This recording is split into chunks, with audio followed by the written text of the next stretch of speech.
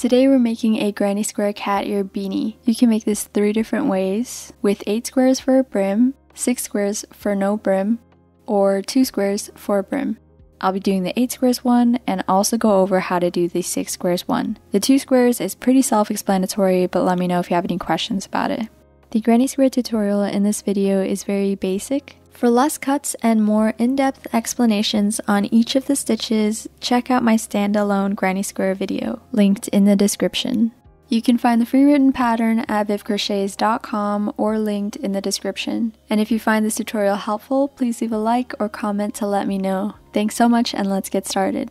For this project, I'll be using 120 grams of leftover Red Heart Super Saver yarn in white and ombre in green apple. These are medium weight acrylic yarns and I'll also be using a 5.5mm hook, some scissors, and a yarn needle. With our first color, and I'm using the white, you can either make a magic circle or a slip knot. Then we'll chain 4. And if it's hard to fit round 1 in this loop, you can chain 5 instead. So here are our 4 chains, and we're going to slip stitch to the first chain we made. So insert your hook through the V of the first chain and go under the loop behind the V as well. So you're under these two loops. Then with your thumb and middle finger, pinch the tail end and the chains together and pull them away from your hook. Then yarn over, pull through, and pull through the loop on your hook. And tighten the slip stitch. And now you should be pinching the center of the loop we just formed. To start round 1, chain 3, and this counts as our first double crochet. Then we're going to do two more double crochets into the ring.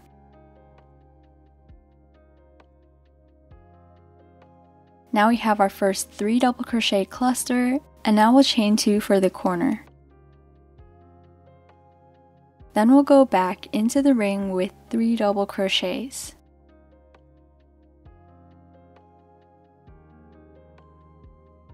Then we'll chain two,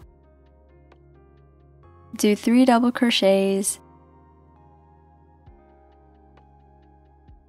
chain two, do three double crochets. Now we should have four of these clusters with chain twos in between them. Now we'll chain two for our last corner. And we're going to slip stitch to the first stitch to close the round. So here is our chain 3 and we're going to slip stitch to the top of it. So insert your hook into that third chain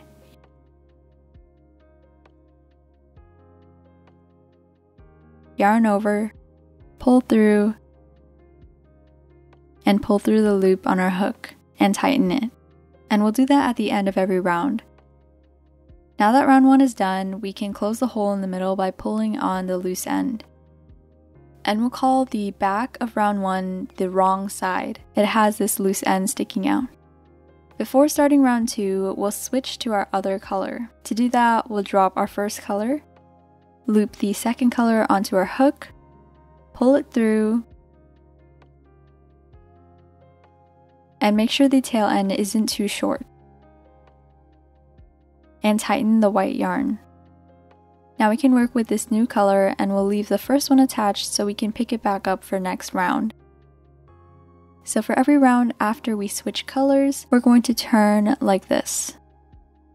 Then slip stitch into the chain 2 space below. Again to slip stitch, insert your hook into that space, yarn over, pull through, and pull through the loop on our hook and tighten it. We turn every round to prevent the granny square from twisting. Then we'll work half of this corner. The other half will be worked at the end of this round. So we'll chain 3 and again this counts as a double crochet. Then we'll do 2 more into the chain 2 space below for a total of 3. Now we'll move on to the next space, and to get to the next space we need to chain 1. And this next space is a corner space as are all of the spaces in round 2, so we'll do 3 double crochets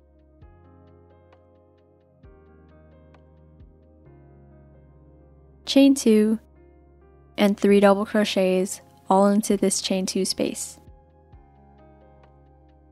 Then to get to the next space, we need to chain 1. And since this next space is also a corner space, we'll do 3 double crochets, chain 2, 3 double crochets. And we'll repeat this pattern, chaining 1 to get to the next space and doing 3 double crochets, chain 2, 3 double crochets into the next corner. So after we chain 1 to get to the last corner, we're going to complete this corner by doing 3 double crochets and chain 2. First, make sure your working white yarn is pulled to the left so your hook goes under it, not over. Then we'll do our 3 double crochets.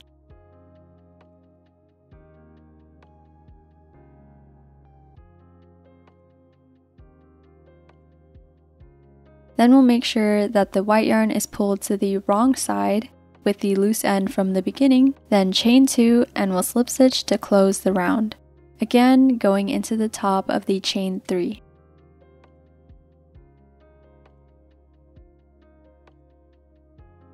Now we'll switch back to our first color.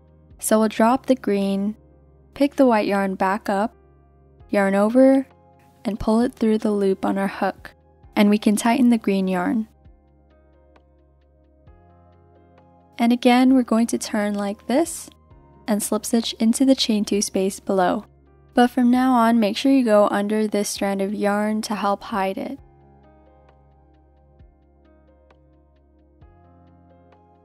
And we're going to start with chain 3 and 2 double crochets into the chain 2 space below.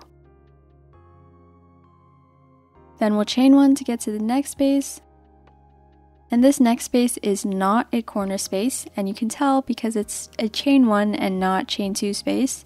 So we're going to do just 3 double crochets into this space. Then we'll chain 1 to get to the next space, which is a corner space, and we'll do what we always do in the corner space 3 double crochets, chain 2, 3 double crochets. And we'll chain 1 to get to the next space, which is not a corner, and in the spaces that aren't corner spaces, we'll do just 3 double crochets. And we're going to repeat this pattern all the way around. And again, in the last space, we'll complete the corner by doing 3 double crochets, making sure we're going under the green yarn, Then make sure the green yarn is pulled to the wrong side, chain 2, and slip stitch to the top of the chain 3. Now let's do round 4 with some notes on how to continue adding rounds to your granny square. For the start of every round, we're going to switch to the last color by yarning over and pulling it through the loop on our hook. Then turn and slip stitch going under the yarn strand. Chain 3 and do 2 double crochets into the chain space below. Every time we skip to the next space, we chain 1 and if the space is a side space, which is a chain 1 space, we do 3 double crochets and move on to the next space by chaining 1.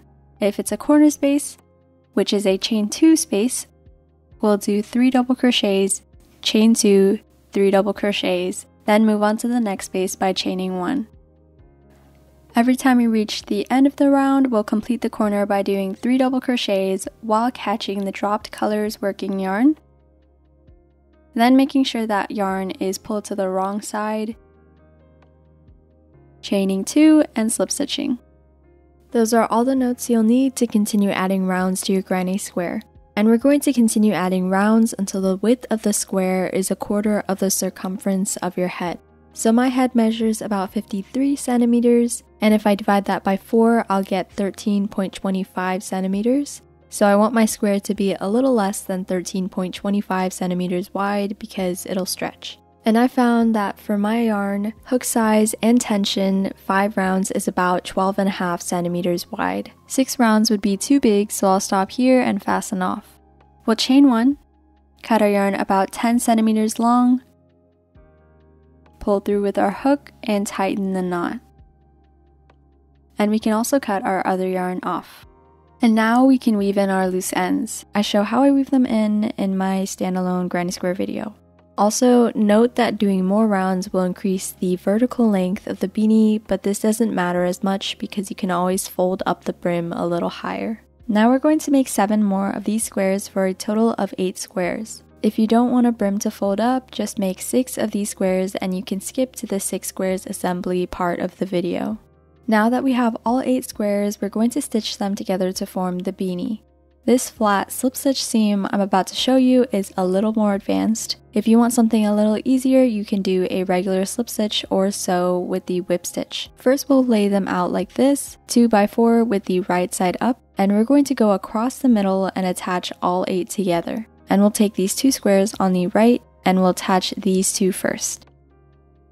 First, we'll attach our yarn, and I'll be using the green yarn for a visible seam. To attach our yarn, first we'll make a slip knot and we'll hold the yarn like this, wrap the top around two fingers to form an X, insert our hook under one side of the X, over, and grab the other side and pull it through. Remove your fingers, tighten the knot, take it off your hook, and we can place it down. Then take the bottom square and you see how there are two chains in the top right corner? One is for the right side of the square and one is for the top side. Insert your hook into the one along the top, which is the one on the left. Then take the other square and in the bottom right, insert your hook down through the chain along the bottom.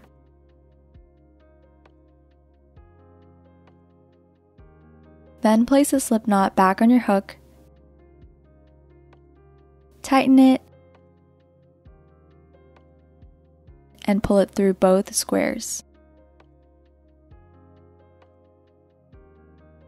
Then chain one and we can move on to the next cluster of stitches. In the next stitch, we'll insert our hook through the V and out the back to grab only the back loop. Then make sure your hook goes over the working yarn. And in the next stitch of the top square, we'll go through the V and down, grabbing only the lower loop. Then we'll complete our slip stitch by yarning over, pulling through both squares, and through the loop on our hook. Again, go into the bottom square and into the back loop of the next stitch, over the working yarn, and through the lower loop on the next stitch of the top square. Yarn over, pull through both squares, and through the loop on our hook. Then we'll do that one more time.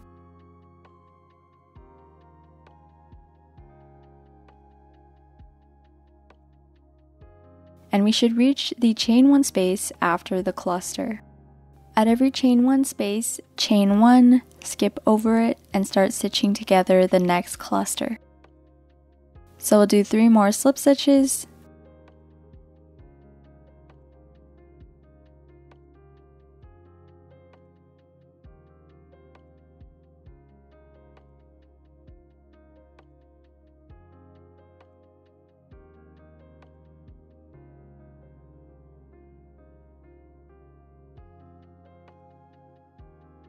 then chain one to skip to the next cluster and do three slip stitches here.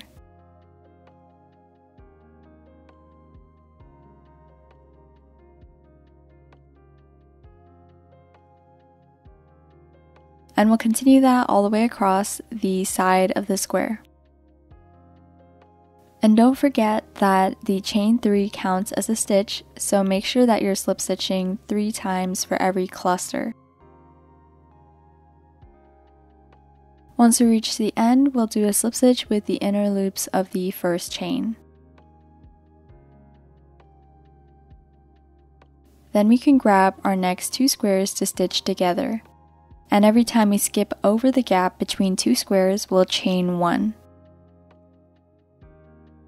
Now we can stitch these squares together, starting with the chain before the first cluster and we'll repeat the flat slip stitches and we'll continue this way until all 8 squares are connected. And remember that each side of the square starts at a chain and ends at a chain and a chain one every time you cross over to a new square. Now we have all 8 squares connected across and we can fasten off. Then we'll flip this over and fold it in half. Now we'll attach our yarn here, stitch up along the side, across the top, and down the other side. First, we'll need to rotate it so this corner is in the top right. Then we'll make a slip knot and attach our yarn to the chain like we did before.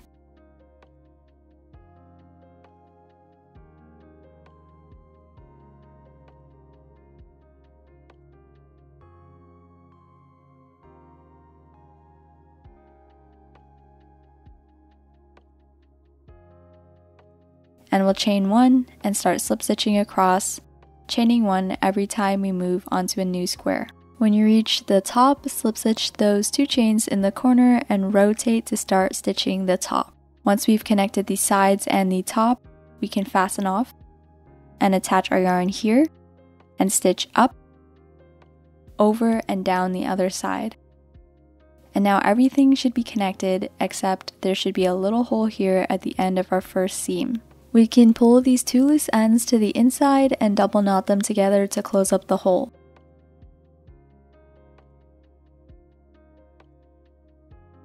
Lastly, we can line the brim to straighten it out and hide these loose ends. Since the brim will be folded up, we'll work from the inside so when it folds up, it'll be right side out. We'll attach our yarn from the inside at the fold, specifically the chain space to the right of the fold.